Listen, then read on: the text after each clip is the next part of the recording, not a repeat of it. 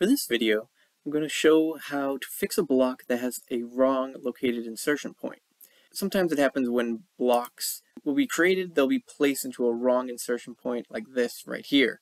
Um, this point should be where right about here, or if it was you know mostly placed, it could be placed at the top here. It really depends on how often you insert this block. Um, it could be placed in the center if you wanted it to be in the center, but placing it way over here is a bad idea. The reason why is if you were to try to select this block and you go to the insertion point and you go to try to move it, you want to move it from this insertion point here, you can't because it's being selected down here. That little icon down in the bottom left, that's the insertion point of this. It shouldn't be way off in the distance over here. So what we're going to do to fix that is first I'm going to show you one way to do it and I'll show you a much better way to do it. Um, so if I would go into here and I go into the block editor, just going to hit move. And if I go from the quadrant and I do a little hashtag 0, comma 0, and I put it down there and I hit close block editor and I save the changes, you can see everything just kind of got shifted all here. Our friend Batman um, will be able to fix just the location of the A's, but you know, if I have a bunch of these, uh, it's kind of a pain to actually have to go and select each one of these and have to move them all back up. Um, you know, sometimes some of those blocks, this one's all kind of gridded out, but if they weren't in a grid and you have a, a variety of blocks placed in different locations, um, it's a little bit of a pain to kind of fix. So a quick way to fix this is I'm going to do an undo back into the block uh, editor like this. And what I'm actually going to do is I'm going to select this block and do a Control Shift C. Uh, the reason why I shift is it actually asks for a base point. If I were just to do Control C, uh, I select and I do Control C, it doesn't ask for a base point at all. But if I add Control Shift C, then it, I can specify a new base point. So what I'm going to do is I'm going to click right here to specify my new base point. Then what I'm going to do is I'm going to Control Shift V and paste in that very same block that I just copied right into the very current block that I have here. And I'm just going to click OK. So what I have now is this block basically pasted as a block, but just given a weird name because whenever you do a Control Shift V, it just gives it a random name. Um, but it's within the same block, and I'm placing it right next to the original block where it was. Then what I'm going to do is I'm going to go to my layer properties up here, and I'm just going to click a, a new layer and just call it junk. I'm going to grab all the stuff that was in here, and if, if there was other stuff, make sure to grab that as well, and place that all onto the junk layer. Like that.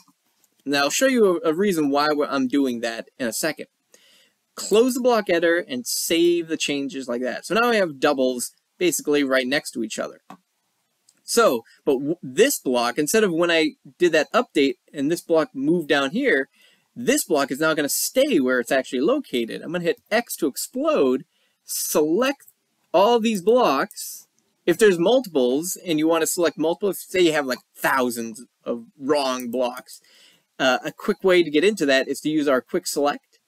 So if I deselect everything, I go into my quick select, I select that I'm going to have a block reference is the thing that I want to select. Scroll down, I find the name right here, and since Bub is the only one in here, that's what's being selected. But if there's multiple, make sure you go find it.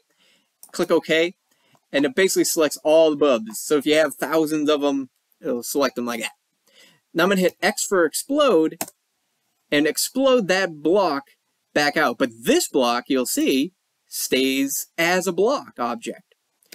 So now what I do to get rid of the one that here, I'm just go back into my quick select, go to layer and find that junk layer that I put all that extra stuff on and just hit delete. So now, again, if you have multiple things, if you only have a couple, you don't have to add the junk layer. This is so if you have a ton of stuff, it's just a quick way of selecting everything so you don't have to go in and pick, pick, pick, pick, pick, pick, pick um, each individual object. So now to move all these guys, again, I could just either use my quick select again, but since these are all the same name, I can just right click, I can, well, I can select it first and right click, and then go down to select similar, and select similar will pick the same type object uh, because it's all the same name uh, multiple times. Now I can just move it back over to where it should go. Now, I just look at this name here and I go, oh, I don't want to keep that name. That's just a weird name. What I can do is purge out the old one. So if I click onto here, here's that old bub. I'm going to purge that guy out of here. Goodbye, you. I'm going to hit close. And now what I'm going to do is I'm going to use the rename tool. So I'm going to say rename, select this block, and I'm going to rename it to, and I can either choose the same bub or I'll call it bubble, just to show you that there was a visual difference. And now when I click up to here, he's back to bubble, just like that. Real nice quick way to fix uh, an issue for all these multiple blocks are all off different, you know, insertion point. Quick way to fix it. Just make sure to put that insertion point right where it should be, um, and you'll have a much better time with AutoCAD.